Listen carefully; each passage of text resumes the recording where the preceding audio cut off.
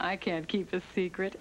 So when I heard Lipton Recipe Soup Mix changed its name to Lipton Recipe Secrets because it makes terrific recipes, I had to tell Joan. They did more than change the name.